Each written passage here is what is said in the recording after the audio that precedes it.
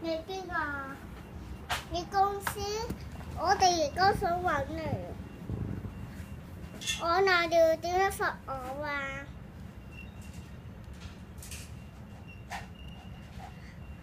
罚我，罚我企企一分钟。佢罚我企一分钟。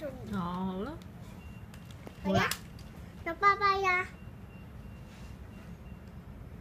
Mình sẽ làm眼睛咩？唔使落马精啊，唔使喎。咁你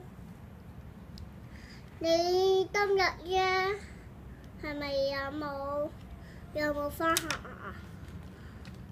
咁你你唔想俾我入马精啊？你问老师咯。话